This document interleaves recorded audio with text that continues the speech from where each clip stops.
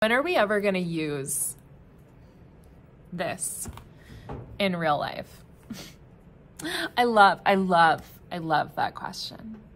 It's um, one of my favorites because it gives me the opportunity to remind my students that although they're right, they're likely never going to have a pop quiz in real life where someone asks them to identify the plot and main characters of Steinbeck's Of Mice and Men. Admittedly, they will get fewer of the jokes on Family Guy without that knowledge. However, what I really want them to understand is that yes, we're using Of Mice and Men and some other classic literature to try and teach them skills. What I am focused on, what the goal is, is actually the skills themselves. The kind of skills my kids are working on are things like critical thinking, asking them to identify something in a text and articulate their opinions about that thing, whether it be a symbol or a theme. And their ability to communicate that is a skill that's going to transfer into whatever they do after they leave my classroom and go out into the real world. Their ability to collaborate and communicate what they want with other people is a skill they will need in the real world.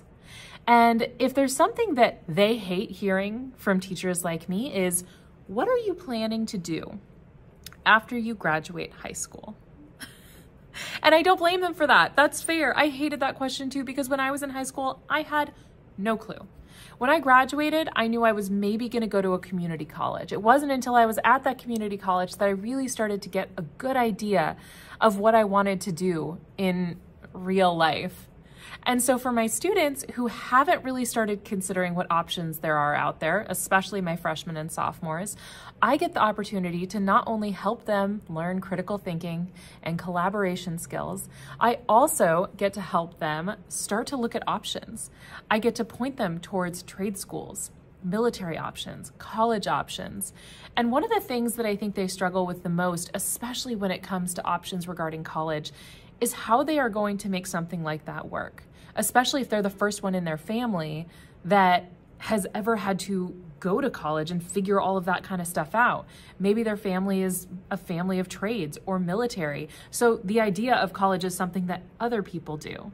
Which is also why I try and introduce texts in my classroom of people who are from similar cultures, of people who maybe look like them, sound like them, have similar experiences, who did things like go to college or join the military or do a trade so they can see all of the different routes that they could take as a potential for their lives. But as I'm helping them navigate all of this, I try and give them all the resources I can for them to use those critical thinking skills and point them towards whatever option it is that they want to pursue in their lives. And the Student Research Foundation has really awesome resources for my students and resources for me as an educator. They have articles on some of the more recent things and trends in education so I can stay on top of that stuff. They also have resources for students and parents. And possibly, most importantly, in my students' minds, they have scholarships available for the students. And it's really cool to have the opportunity to work with my students to help them build that critical thinking and to be able to connect them with the resources they need that can help them build a future that they would love. Like the ones with Student Research Foundation, who partnered with me to bring you this video.